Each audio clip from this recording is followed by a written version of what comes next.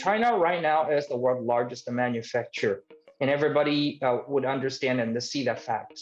And with this uh, capacity, China is not just to rely on it and to try to hold this power to itself. We've been having a lots of uh, branch companies, branch factories in ASEAN countries, in Africa, in Europe also. And uh, they've been uh, duplicating the Chinese production power.